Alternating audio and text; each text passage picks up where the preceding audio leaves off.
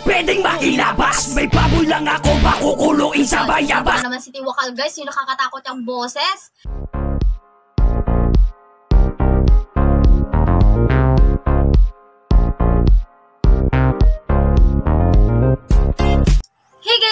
Back into my YouTube channel. So it's me again, your Ate Delpo. And for today's video guys, is magkakaroon tayo ng reaction video for the second time to Manadabas YouTube channel guys. And which is the title of this video guys is Bastusan na to. So, Mananabas, Faith Tiwakal, and Baste. So, sa Mananabas guys, ang, ang first ko pa lang talagang ah, narinig yung boses is kay Imoko which is yung nag-cover siya ng ah, sa Dinami Dami. And for Tiwakal guys, second time ko siyang maririnig dito at napakahayop ng boses niya guys. Natatakot ako sa boses ni Tiwakal. And to Baste, ngayon ko lang siya makikilala guys and I'm so excited to react this video. But before we start guys, I would like to shout out all the rapper supporters. Let's go guys. Uy, para tayo na. So guys, first time ko marinig tong bastusan na to and yung music, yung music niya guys, yung tugtog, yung track niya, para tayong nasa gera. So, play natin to ulit guys.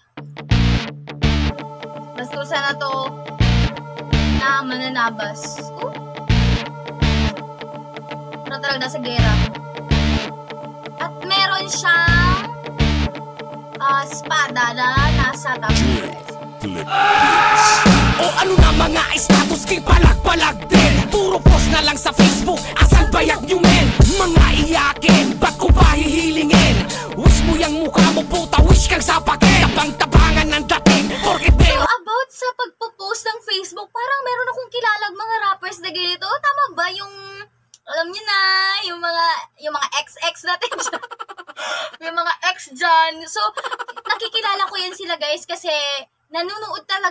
Sa ano, at saka nakikita ko yan sila sa Facebook na panay talaga pag meron silang gustong tirahin, isa Facebook yan sila nagdadadain. Pwede ba silang mag-grass back true rap, 'di ba? Kasi magaling daw sila eh. Kaya lang hindi ko naiintindihan. mga bating Na kumukonsinti sa inyo Kalawang bojeng Batalyong walang bayan Nasagat sa kakupalan Bastos ang residente kung bastos ng ang kapital Apaton ka magaling Imbis itama ang ma- Yes, totoo. Bastos ang residente kapag bastos ang kapitan. Just like for example, guys, you are the leader and I am your follower. Of course, ikaw yung leader, ikaw yung susundin ko. Ganito lang yan, parang politika, guys. Kapag siya yung president and we are the people na ah nagfa-follow sa kanya, susundin natin kung ano yung pinapakita ng ating ahente, di ba? Kung sino yung ating leader. So, diyan talaga masasalamin ng isang tao, guys, kung mabuti ba yung kanyang hatid o hindi. Pinagtatanggol mo pa Nakikinabang ka kasi At sa'yo is bebe Anong kagaguhan yan? Tinitira ang salba Gustong umuugong ang pangalan Karilibog na ba kaya sila pinasisikatan mo? Papansin ka masyado ako ang tatabas sa'yo Di na kailangan ng pang-anim na banta para gumiba Kung sa unang papala pa lang ay demolisyon na Walang palagang mga ex noong kami na bumira Pagkatapos niyang namakyo naglaho parang bula Sabay labas ng mga kuya niyang mga bida-bida na nagmis First time kong marinig si Balaraw, guys. Actually, si Ibo ko lang yung narinig ko sa ah, sa Mananabas. So, si Sampilok in Balaraw is one of the member of Mananabas. So, kay Balaraw, napaka-cute ng boses niya, pero astig yung ano, as, napaka, alam niyo yung cute na maliit yung boses niya, pero napaka-astig pagdating sa underground. Yung bang, ano, parang ma- mapapaisip ka, ano siya, rapper ba siya o hindi? Kasi nga, guys, ang cute ng boses niya. Siyempre, yung sinabi niya dito is ex. O, so tama ako, guys. Yung mga ex, guys. Yung mga ex-ex, guys ba? Yung mga ex. so, yung sinabi niya dito na, ano, wala palang mga ex noong kami na bumira. Oo, yes! Bago lang kasi yan sila. And yung Donggalo, guys, is matagal na po yan talaga. So, it's, oh, it's almost 30 years na po sila sa larangan ng rap. So, sila po yung, ano, mga members or nag-sign ng contract to Andrew E. sa kanyang Donggalo Records na company. So, for today's uh, music video, guys, napakaganda ng meaning kasi yung Donggalo rappers po is hindi po talaga pumapatol kapag hindi po talaga sila inuunahan. Kasi nag-search ako guys, marami akong ginawa kasi ayokong ma-fake news dito at magkaroon ako ng basher kagaya nung nag-reaction ako sa ex battalion. Nagkaroon ako ng basher guys through Facebook. That is why, ano, dinilit ko yung dati kong page kasi ano, marami siyang basher. So, aanin ko yung maraming views kung maanin ko yung maraming followers kung stress naman ako, 'di ba? Ayoko matoxic yung buhay ko, guys. Bata pa ako at kailangan ko pang magkaroon ng pamilya. Sana all pamilya. so dito talaga is disclaimer talaga sa mga bata, guys, na ah sa ating mga magulang po dyan, huwag niyo pong ipapanood dito sa mga bata kasi yung mga anditong mga words is napaka-bad. Napaka-bad talaga kasi nandito yung sign of fuck you, mga pagmumura, mga bad words. So, it's not good sa mga child na naririnig.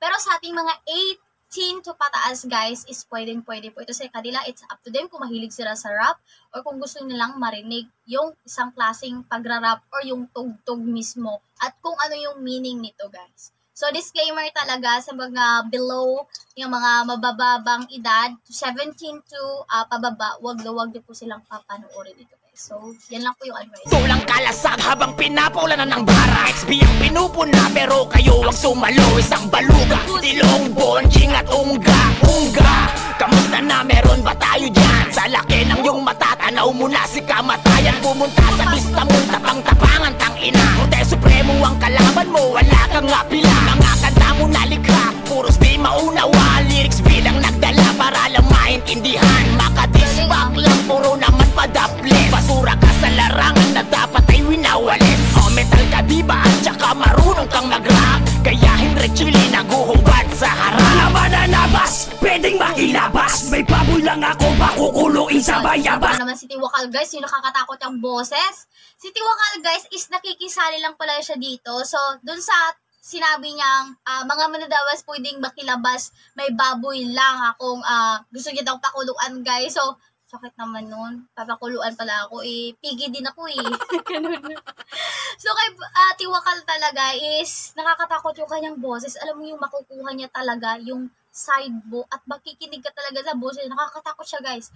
Alam mo yung nasa mga ano, nasa mga palabas na mga series or mga movies na yung tao is nagtatago sa mascara at yung boses niya guys, medyo garagal siya eh. Medyo ano, nakakatakot yung kanyang boses. Parang siyang aswang, gano'n.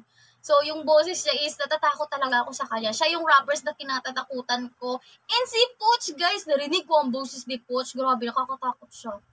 Mga ganun na yung nilang boses. So, maganda yung talent na ganyan. Hindi madali at hindi birong maging ganyan, guys, yung boses. Parang nga yung gagawin, di ba? Yung mga ganun ng boses nila. So, akala ko lang si Marcelito lang yung meron tayo sa Pilipinas. Yung meron pa rin ng mga rappers na hindi pa natin na-discover ng karamihan. Akala mo ba makakalimutan kita? Akala mo lang yon putang ama ka Bakit tatanong mo ba kung tinira kita? Sa kanta panunubos, bakit obvious ba? Eh dati pa naman ang so meron siyang kantang- kita. Kaso di Meron siyang kantang panunubos? Huwagang tangina Tangina mo pangil, tangina mo boboy Sana pinatay ka na lang ni Sarap parbura! Tangina mo Ben, tangina while nakikinig ka sa kanila, alam mo yung mapapamura ka rin. Na- Minsan nga guys, kapag nagre-react ako or nagre-review ko sa mga rappers, nanood ako kay ano, yung tumabay-tumabi ng Lady Masta, sabi ko talaga dun. Pag nagre-react ako nito, gustong gusto ko talagang magmura. Pwede bang magmura? Ganon. Kasi nga guys, yung mga ano nila, nadadala kay, yung paglabas ng beat nila talaga is, lumalabas din yung words, yung bang pantay-pantay lahat. While sumasabay yung beat, lumalabas yung music, ay lumalabas yung beat, lumalabas yung lyrics, at saka sumasabay yung kanilang boses. So, yung team naman at yung harmony nila, guys, is napakaganda at maaantig ka talaga at makukuha talaga yung attention mo. Away nila, guys, is gagawin nilang, i- idadaan nila sa kanilang talento, di ba? Ay, yung ganun. Yung ganyan yung na-observe ko sa kanila. Kapag meron silang naririnig, dinadaan nila ito sa pag-rap.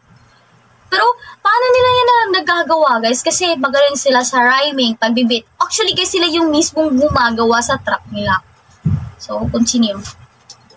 men Sino Sa Ben? mundo ng rap kay may wala ka ng papel Pasabit-sabit ka na lang sa dati mong kaaway Taong gasa na ngayon ang maglaya sa aming bahay Nagpiling matalino at magaling Putang ina mo pinapasabi to ni King Putang ina mo pinapasabi ni Putang ina mo! At ang ina mo kung nasan ka man ngayon At ang ina ba Tumawa pa. To tapos May manunubos Naaalala mo pa ba pati yung ex ko Pati ex ni Crane na nilalandi mo Ang ina binalang So, so dito yung sulutan ng ex, 'di ba? Sabi niya dito, yung ex ko, pati ex ni Tang Crane, nilalandi mo. Ay, yung nanunulot ng jowa, nanunulot ng mga exes. Ano yan, parang suka na, pa- sinuka na nga ng iba, kinain mo pa. Bayan ng asawa mo Na hindi ka lang baboy Ahas ka pa gago At Oo! isa pa sa akin nag-chat siya Galit na galit ako Nakakatakot talaga yung boses niya. Gumawa ng issue Ang tanginang to Kesyo sinasabi ng rape daw ako Gago Kahit Oh? ipagtanong mo Ako ang nire-rape dito sa lugar ko Manihira ka na lang ang dami Oh my God, yung mga words nila talaga is hindi maganda sa mga bata. Sinabi mo sa Dear Chris Super bad. Kumusta na dating kapatid? May mensahe akong iyahatid Oh, ganda ng ano ah. Ka ba natutong mag-rap? Sinong unang tao ang hinarap? Alam ko na kung sino siya Si Kuya Andrew, di ba? Oo, andito si Andrew. Sinabi niya noon, tiwakal. Ikaw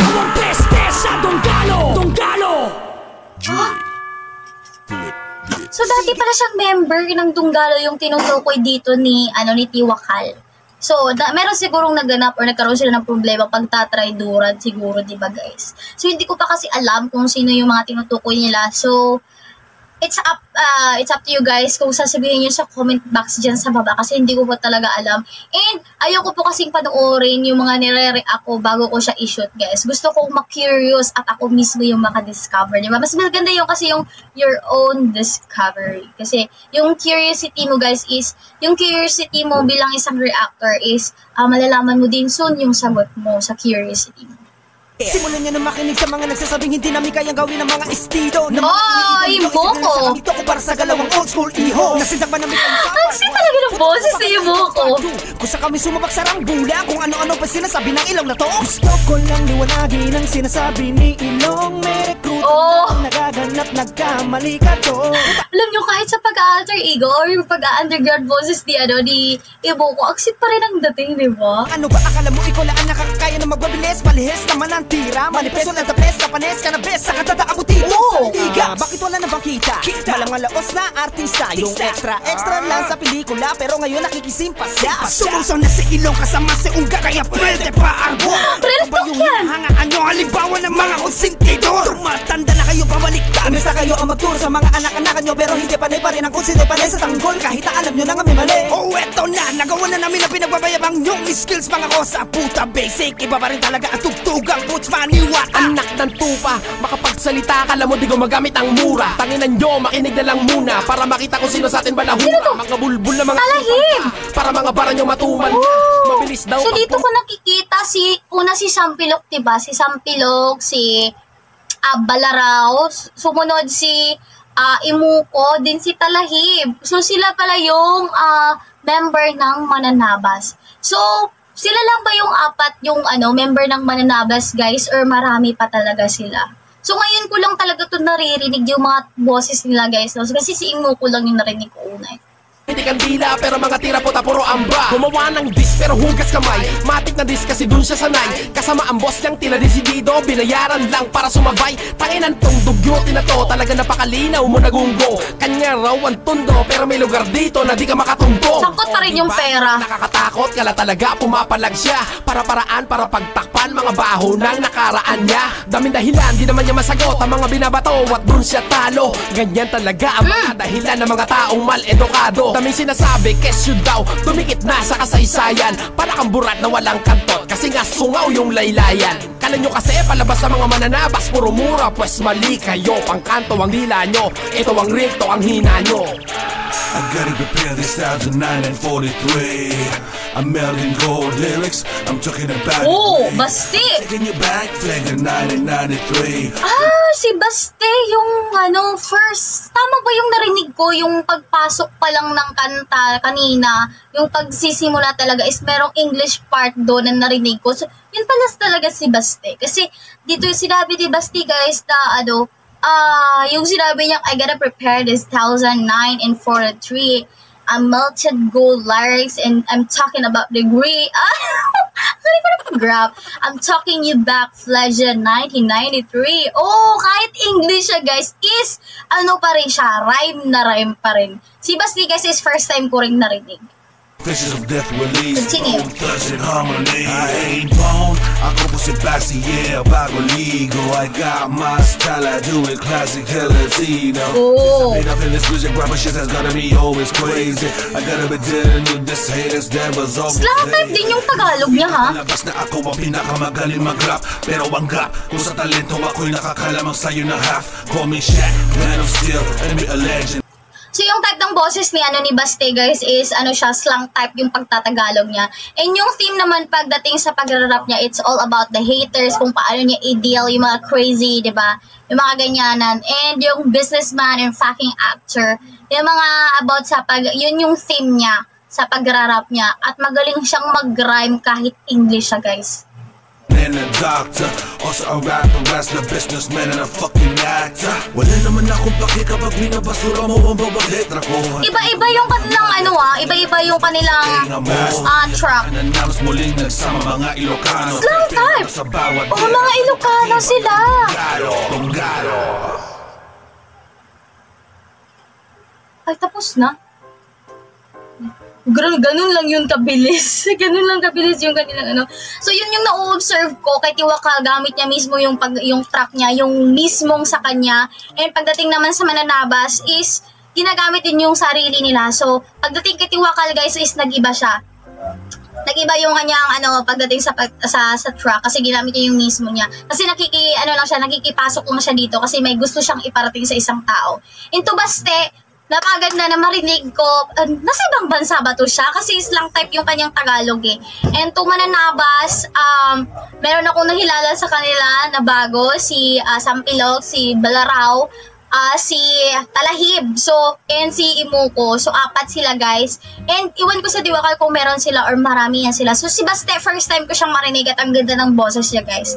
And, ang rhyming pagdating sa track and yung harmony nila and yung theme ng mismong ah ah, content na to guys which the title is Bastusan is maganda yung meaning niya. Although hindi talaga siya para sa mga bata.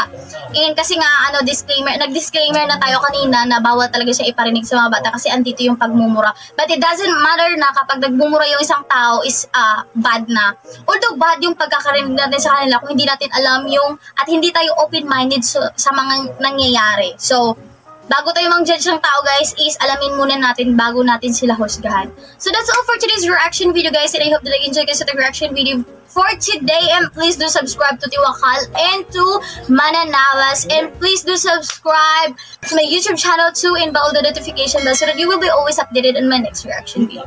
Thank you so much uh, for watching guys and nag-enjoy talaga ako ng sobra sobra. Iningat kayo lagi. Bye bye!